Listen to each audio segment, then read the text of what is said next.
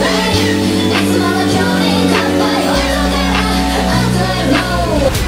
な同じ金髪のボブにするので。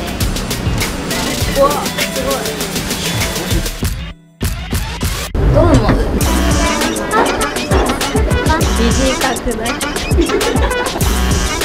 また来ますか帽子が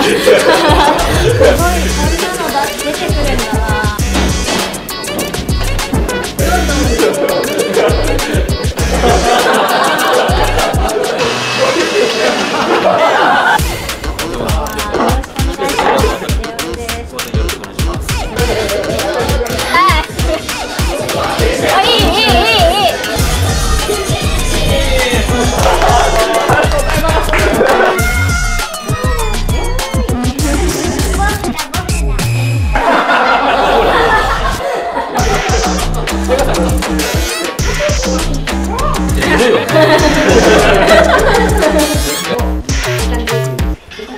回は遊び心とかおふざけみたいなテーマにすごくあるので一番今私が会いたいおふざけの達人のジェラードン上がって西本さんにお招きしてエリナ役で出演していただいて。